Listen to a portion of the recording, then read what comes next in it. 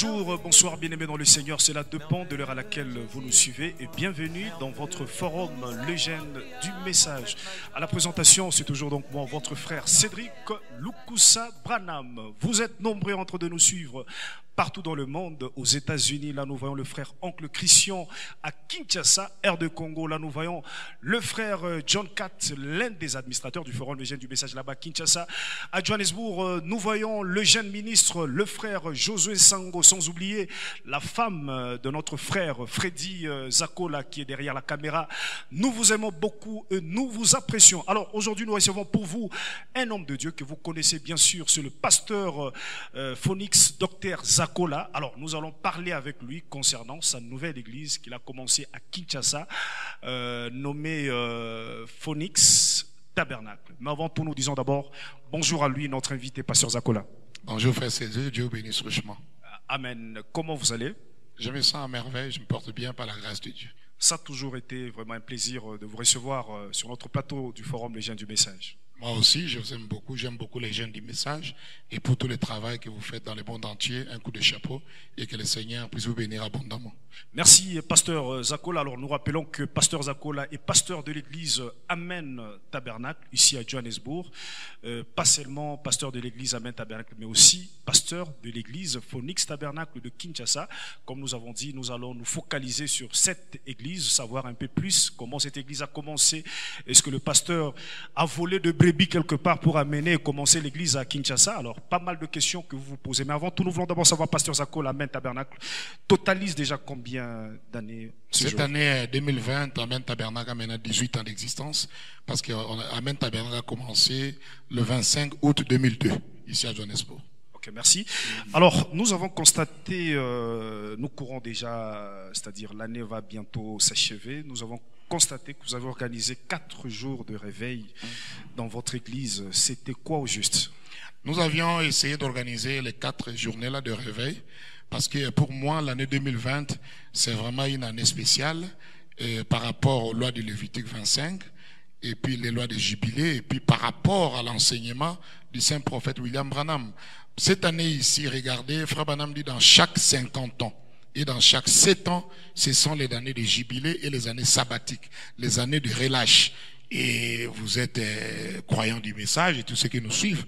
Frère Branham dit euh, chaque 50 ans et chaque 7 ans dans l'histoire du plan de bleu de la rédemption, il y a toujours une année de jubilé.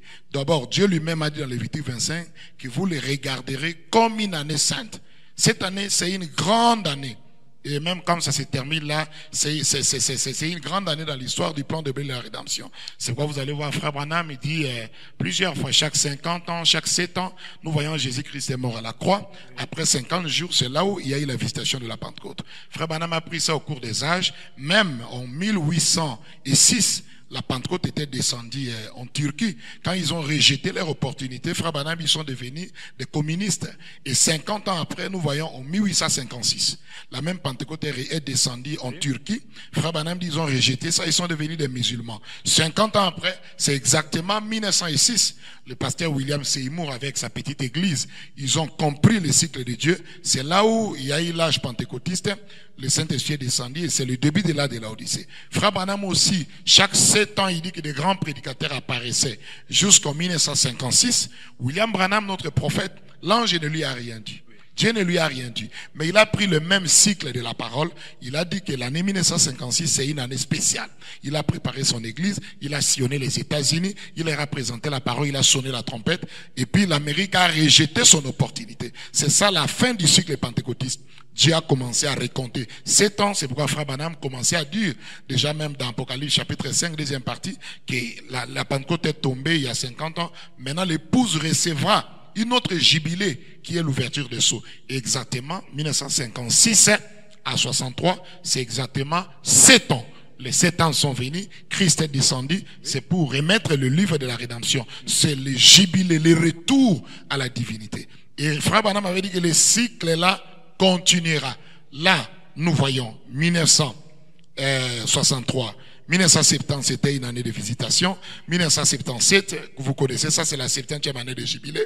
84, 91, 98, 2005, 2012, 2013, nous avons eu aussi nos 50 ans depuis l'ouverture des sceaux. C'était une grande année de jubilé et de 1900, euh, de 2013 à 2020, c'est exactement 7 ans. Donc, nous avons eu nos 50 plus 7 ans tel que Dieu avait donné aux pentecôtistes le matin de la Odyssée, 1906 à 56, et 7 ans, encore 63, les pentecôtistes sont rejetés, Dieu c'est fini. Dieu a commencé l'âge de l'épouse. Et nous aussi dans le message, nous avons eu là le même cycle de 50 ans plus 7 ans. C'est une grande année. Parce que n'oublie pas, frère Cédric, il n'y a rien de nouveau sur la terre. Ce qui a été, c'est ce qui sera. Et le principe de frère Branham, c'est que Dieu déplace son peuple dans les cycles, et quand ils saisissent les cycles, il leur donne la compréhension et la compréhension vous donne votre glorification. Voilà pourquoi, euh, pour terminer cette année en, beauté, nous avons organisé ces quatre réunions de réveil. On a commencé ça exactement le 24 euh, euh, décembre pour penser au départ du saint prophète, 55 ans depuis qu'il avait quitté la terre. Nous avons gêné toutes les gueules, on a prié mon père, mon père Charles d'Israël, pour que l'esprit qui était dans les prophètes, l'esprit d'Élie revienne à l'église qui est Élysée.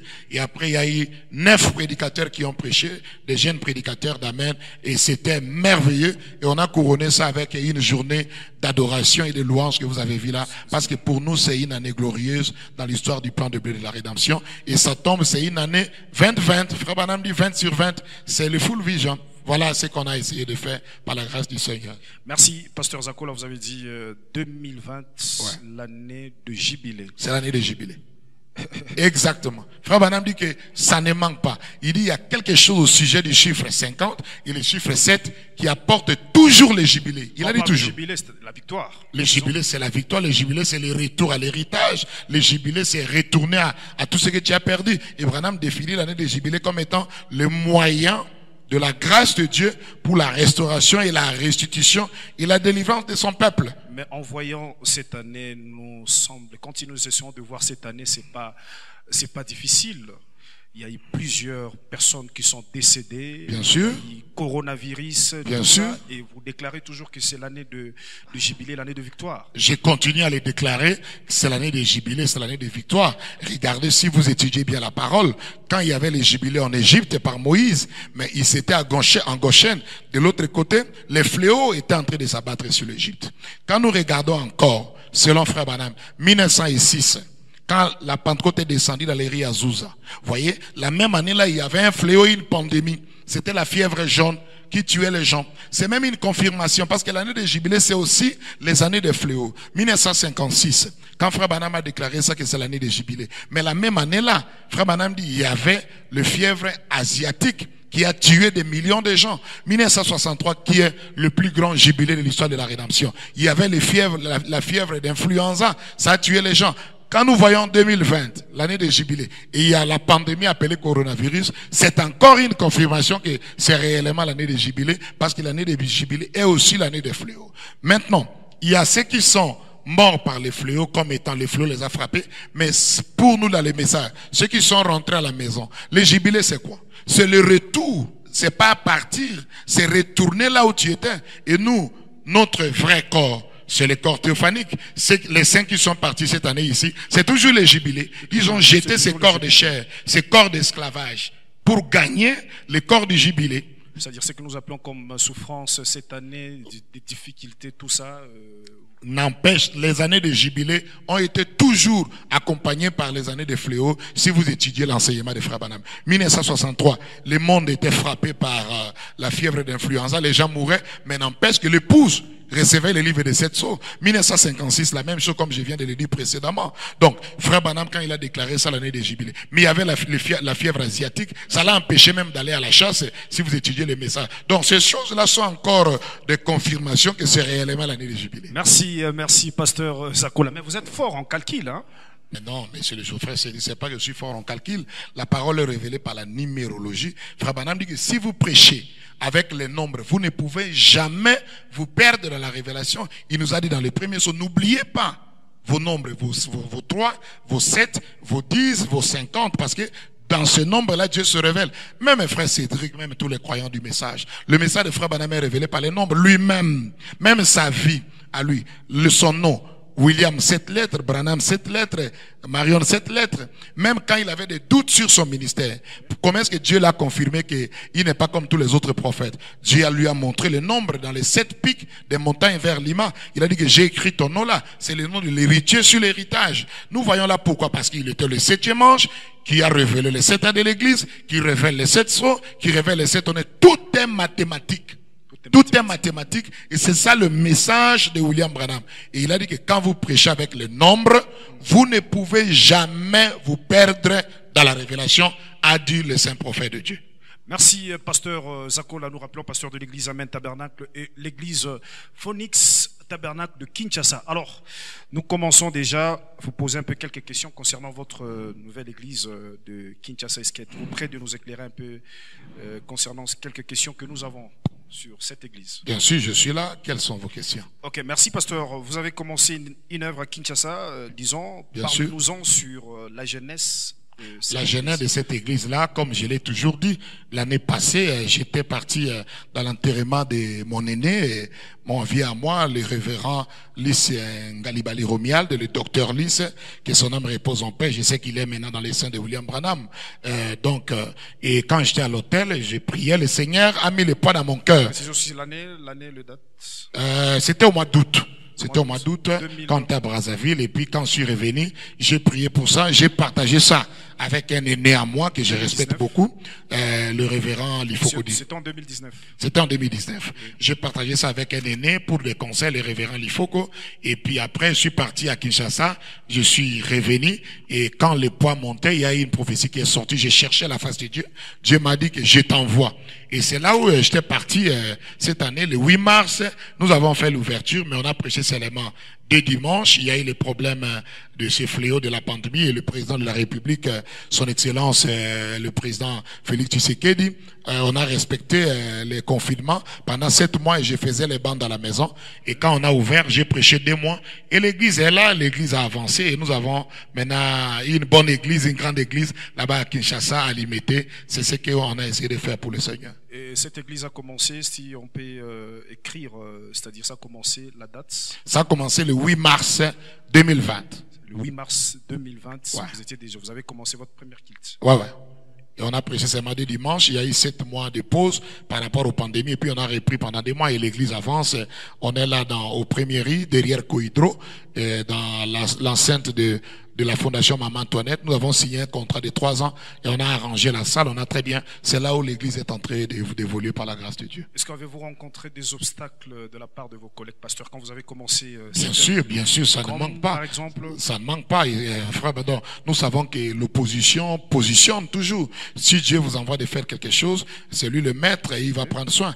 J'ai eu un peu... Euh, avant que je commence, j'avais informé presque à tous les anciens que voilà, j'ai tel poids, et ils étaient d'accord. Mais quand je suis venu commencer, bon, les autres, euh, je ne sais pas qui étaient dans l'air, que ce sont des hommes de Dieu que je respecte beaucoup. Il y a eu même un autre ancien qui est passé à la télévision. Il a parlé de beaucoup de choses contre euh, nos doctrines et des choses que nous prêchons, alors que c'est, nous puisons ça dans le message de Frère Banham. Bon, tout ça là, on met ça du côté du diable.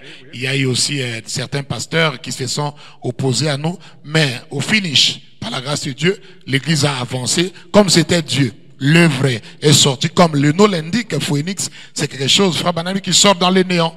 Une grande église est sortie dans les néants et ça est là. Entre parenthèses, Phoenix Tabernacle, c'est vous qui vous avez donné le nom ou bien c'est comment Nous avons voté, on avait proposé le nom Amen Tabernacle, on a proposé Pierre de Fête Tabernacle, on a proposé Phoenix Tabernacle et la majorité, à 99%, ils ont voté Phoenix Tabernacle. C'est comme ça qu'on a choisi le nom là. Parce que l'église est souveraine.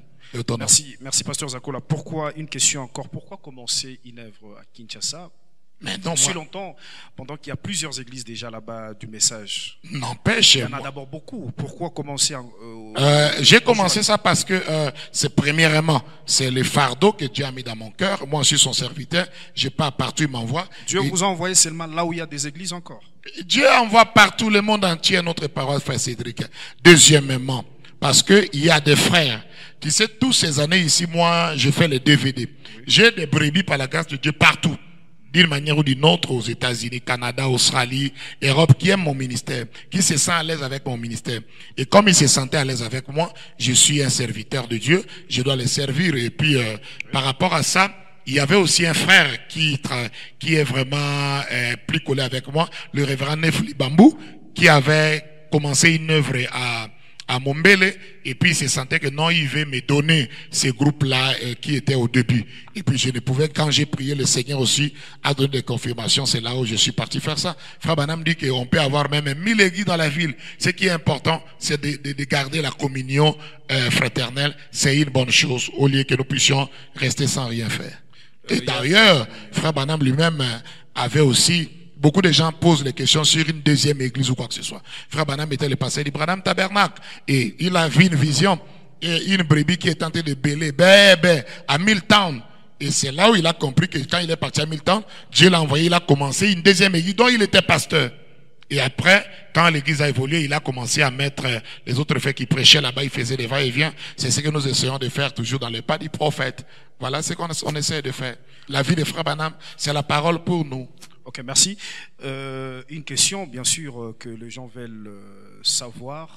Quand nous regardons même des images, nous voyons, vous avez commencé votre deuxième église. Il y a pas mal, nous voyons plusieurs personnes, de frères et de sœurs.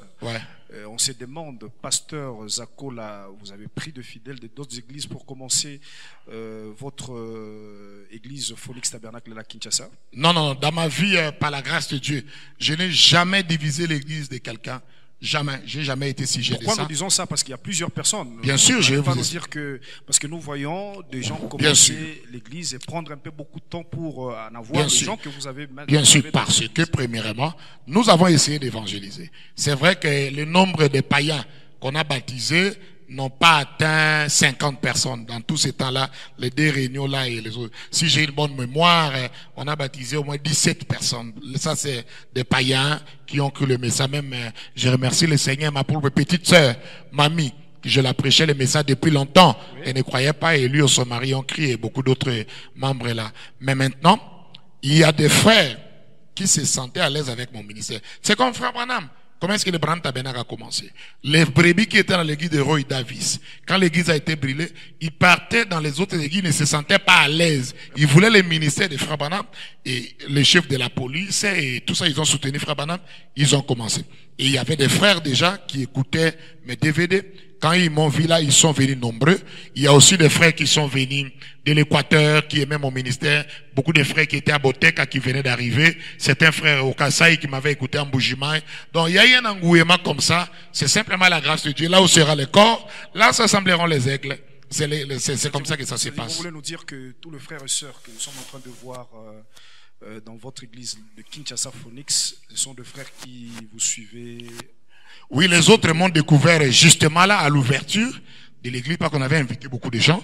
Ils ont aimé la parole, ils ont aimé ma manière, ils ont aimé l'inspiration. Les autres aussi me connaissaient depuis longtemps. Les autres, on les a baptisés là comme de nouveaux. Et les autres sont venus de partout. C'est comme ça. C'est-à-dire, vous nous dites ici que vous n'avez pas pris de fidèles de d'autres églises pour commencer Phonix Tabernacle. Jamais. Je n'ai pas été sujet de ça. D'ailleurs, moi, j'étais à la maison, je partais, c'est ma prêché, gérer tout. Je n'ai jamais été sujet, frère Cédric, dans ma vie, de diviser une église. Parce que les premiers enseignements que mes anciens m'ont enseigné, qu'une église ne commence pas par la division. L'église commence par la parole. Là où sera le corps, là s'assembleront les aigles. Je respecte toutes les églises qui sont dans la ville de Kinshasa. J'appelle ça nos églises sœurs. Mais si quelqu'un se sent à l'aise avec mon ministère ou sous moi, il est le bienvenu. Il est le bienvenu. Entre parenthèses, nous voyons une photo qui circule, une vidéo qui circule sur le net. Nous voyons à l'église Barouti Tabernacle. Et on ne sait pas, euh, vous étiez parti faire quoi là-bas? Non, ça c'était, je pense, en 2019. C'est l'année passée. Quand j'étais parti à Kinshasa et, après j'étais parti voir euh, le pasteur Barouti. D'ailleurs, je voulais me communier avec toutes les églises, sans frontières. Je suis parti visiter l'église du pasteur Kalumbu, j'étais parti visiter l'église du pasteur Kayumbi Ozoé, j'étais parti à Rigini, et le pasteur associé m'a reçu, les frères Dembo, avec euh, le pasteur Kalala. Et puis après là, le pasteur Barouti, quand il est revenu, on lui a dit que j'étais là à Kinshasa. Comme il me reprochait que je n'étais pas venu dans sa dédicace et tout ça, il m'a rappelé encore que je puisse revenir comme lui-même il est là. Je suis parti, on a causé dans son bureau et puis, du haut de la chair, j'ai dit que je reviendrai au mois de février et mars c'est pour commencer l'église. Je suis parti parce que euh, mon histoire, je peux pas changer mon histoire. J'ai été euh, jeune prédicateur à Rigini pendant cinq ans. J'ai travaillé là à Rigini avant que je vienne ici. C'est Pasteur Barout, c'est lui qui était mon pasteur et je dois respecter euh, quand il m'appelle d'aller le visiter, je dois lui rendre ses respects là.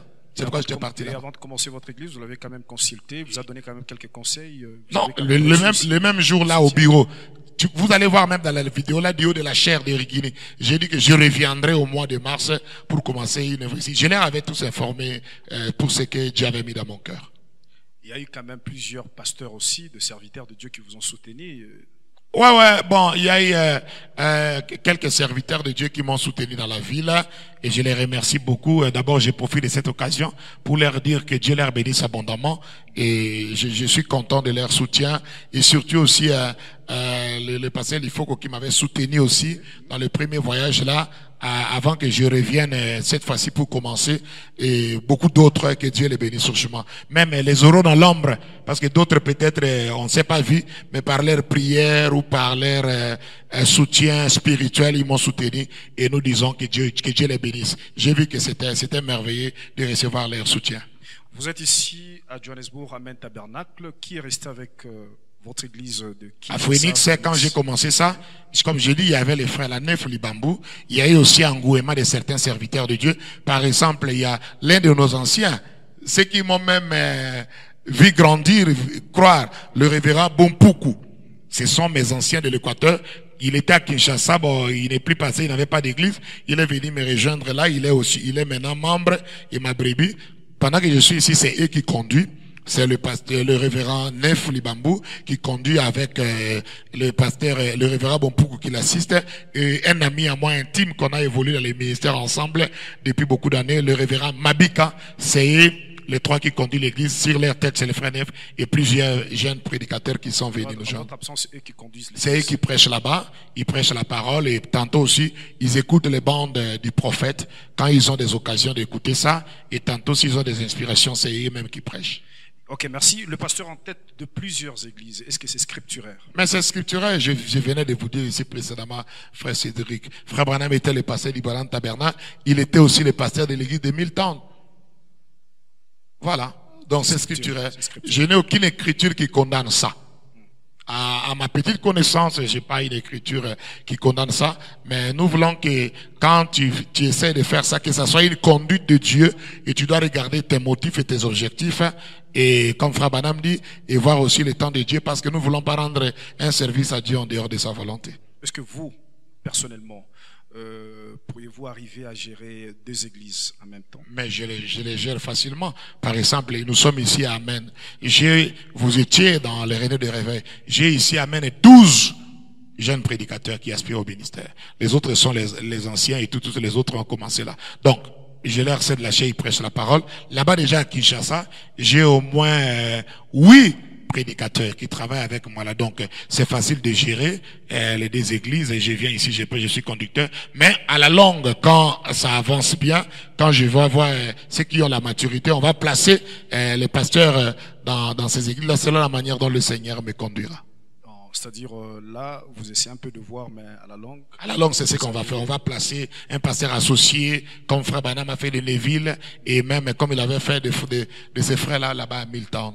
Ok, il y a une question ici, on veut savoir, on dit, Pasteur Zakola, euh, une église locale est-il libre de prêcher, euh, c'est-à-dire le pasteur d'une église locale est-il libre de prêcher ce qui est différent euh, de ce que son évêque prêche? Mais bien sûr, c'est l'enseignement de William Branham. Frère Branham dit après le Saint-Esprit dans une église locale, c'est le pasteur qui est l'autorité full. Il part même plus loin pour nous montrer ça. Il dit que j'ai placé Neville. Si Neville prêche la doctrine des témoins de Jéhovah, c'est entre vous et lui. Il, il part plus loin, il dit que si l'évêque même si l'évêque est là pour arracher la révélation au pasteur, l'église ne marchera pas. Nous respectons nos évêques comme il y a question-réponse.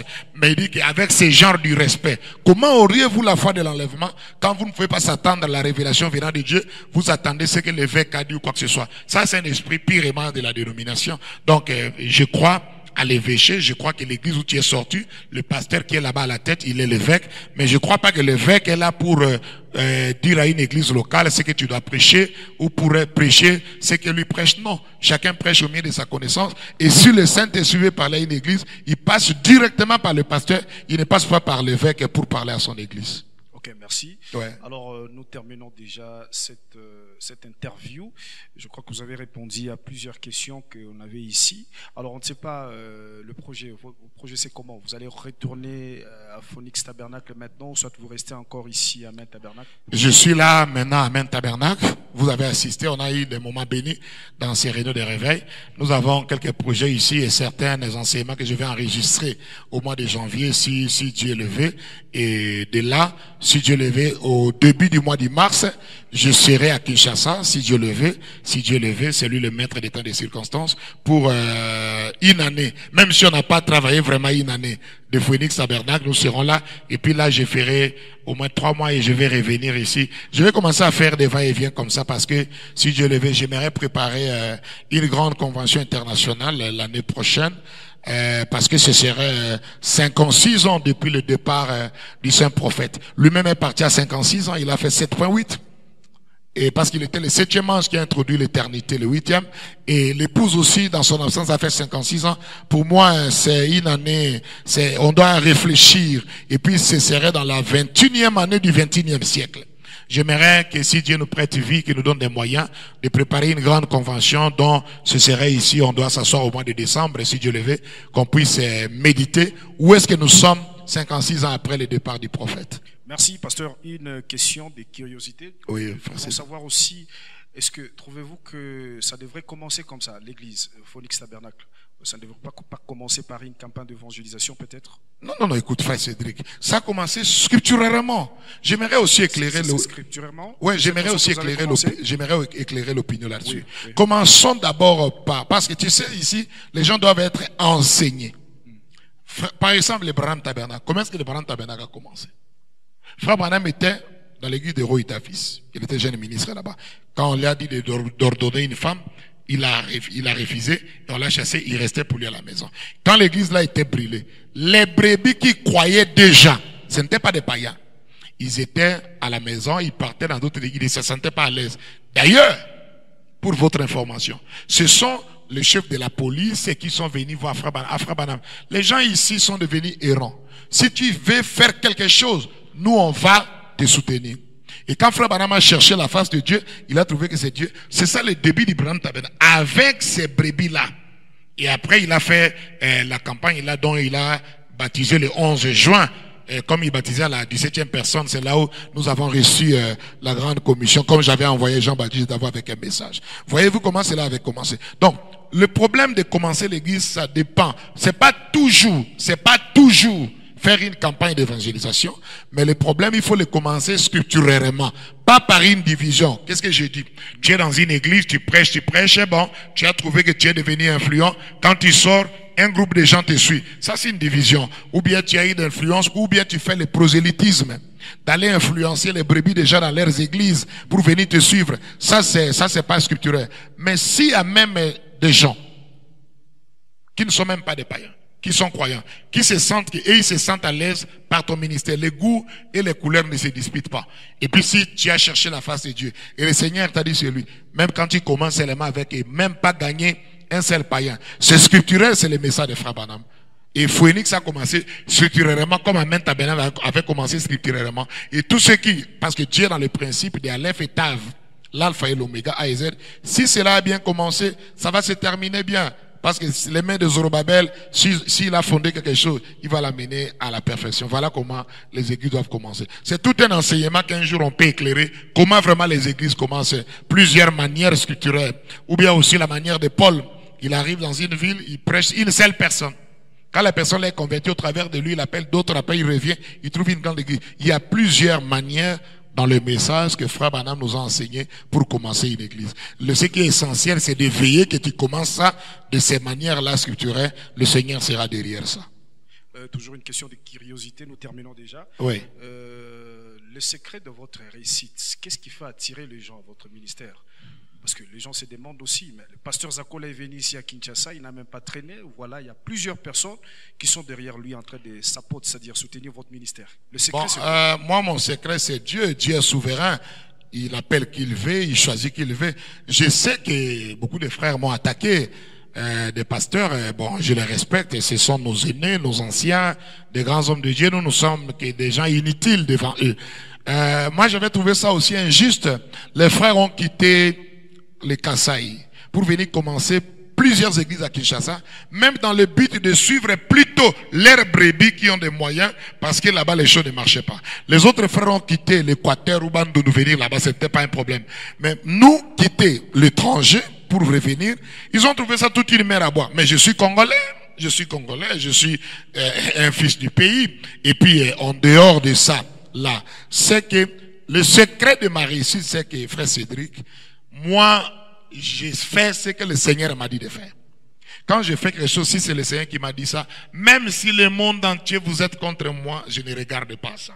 Je fais ce que le Seigneur m'a dit de faire et je le fais quand Dieu te dit de faire quelque chose, il va, il va, il va, il va amener ça à la perfection. Et de deux, quand j'essaye de faire ce que le Seigneur m'a dit de faire, je ne fais pas de concurrence. Je m'attends au paix que le Seigneur m'a donné.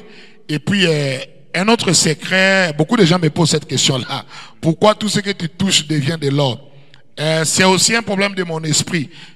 Dans mon ministère, je n'ai jamais été contre mes pasteurs. J'ai été baptisé par le pasteur Mpochi Daniel Boutele à l'Équateur. J'ai été sa brebis jusqu'à ce que quand on a mité mon père, qui était un mouvancier, j'ai choisi le pasteur Mboula après quand l'AFDL est entré, je suis venu à Rigini. J'ai servi mes pasteurs comme étant des serviteurs. Et tous m'ont béni que tu vas aller de l'avant. Moi, j'ai jamais quitté une église quand j'étais brebis dans mes pasteurs là. Donc, de deux, je pense que moi, j'ai fait ça avec un bon esprit et j'essaye euh, de faire ça bon. Pour avoir une réponse concrète, c'est que nous sommes l'annioué. Frère Banham dit que Luther, c'était euh, Abraham. Et Wesley, c'était Isaac, l'amour. Et le Pentecôte, c'était Jacob. Mais quand les seaux sont ouverts, Dieu nous amène l'onction de Joseph, la perfection. Donc avec ça, c'est pas seulement moi, même toi. Tu vois pas que ce que tu as fait ici, ça a reçu. Avant toi, il n'y a pas eu des choses comme ça. Aujourd'hui, moi je suis fier, on peut savoir qu'il y a nos frères au Tchad. Et par, pas seulement moi, tous les enfants, tous les enfants de Dieu, si seulement tu connais qui tu es. Parce que c'est ça la plus grande révélation. Et la plus grande malédiction, c'est d'oublier qui tu es. Quand tu connais qui tu es, et ta position en Christ, et quand tu fais une chose, c'est toujours la perfection. Nous sommes Joseph. Tout ce que Joseph touchait dans la Bible, c'était prospère. Et nous avons l'exemple de Joseph Branham. Tout ce qu'il fait est prospère. C'est un signe pour nous. Et quand tu fais une chose avec Dieu, ça va toujours prospérer. Voilà un peu euh, le secret de mon, de mon ministère et de mes réussites. Et je m'attends à ce que Dieu m'a donné et je vais de l'avant. Merci. Alors, l'adresse euh, de votre église de Kinshasa, L'église de Kinshasa, Phoenix Tabernacle, se trouve euh, à, au premier là, à Cohydro, la grande station Cohydro, au centre féminin Maman Antoinette, dans la concession là. Nous avons la salle, on a un contrat là de trois ans qu'on a vraiment arrangé la salle. Quand vous avez le temps, allez là-bas écouter la parole. C'est ça l'adresse de l'église à Kinshasa. Un mot, nous sommes déjà, l'année déjà euh, à sa fin. Un, un mot de la fin, euh, premièrement, c'est à moi de vous remercier euh, pour tout ce que vous essayez de faire pour Dieu. Je le dis de tout mon cœur. Frère Banam dit dans le respect, vaut mieux essayer de faire quelque chose pour Dieu. Frère Banam respecte quelqu'un qui essaye de faire quelque chose ou, ou au lieu de la personne qui ne fait rien, il ne fait que critiquer. Un grand remerciement à vous. Je vous souhaite mes meilleurs vœux pour cette fin d'année ici et je vous souhaite encore le meilleur pour l'année qui est en train de venir dans quelques euh, heures ici et que votre site et votre inspiration, les jeunes du message, puissent aller de l'avant, de gloire en gloire, de bénédiction en bénédiction. Pour ceux qui nous suivent, je vous souhaite mes meilleurs voeux. Terminez bien l'année ici 2020, qui est l'année de jubilé, qui est une grande année, une grande opportunité. Je sais que si vous saisissez ça, même à la dernière minute que c'est le jubilé, que Dieu vous restitue tout ce que vous avez perdu et que l'année prochaine puisse vous apporter bonheur, bénédiction et gloire et que Dieu bénisse tous les saints, qui bénisse tous les enfants de Dieu, tous les grands serviteurs de Dieu qui essaient de prêcher la parole qui saigne. Shalom, que Dieu vous bénisse. Merci. Alors, euh, c'était euh, votre frère euh, Cédric Lukusa Branham derrière votre forum, légende du message. Pasteur Zakola, nous vous disons merci. Merci abondamment. Merci. Et restez toujours branchés dans votre forum, légende du message. Encore une fois, on est ensemble. Je suis jeune, j'aime le message. Bye bye. Et Alex Pessanga, citation Sur le pectoral et ce lumière merveilleux Java le passé est une langue inconnue ah, C'est merveilleux aux croyants de Béret C'est merveilleux. Aux fidèles du prophète. Merveilleux. C'est merveilleux aux croyants du message. Merveilleux. Oh oh oh. Gloire à Dieu. Oh oh oh oh. Ah. Oh oh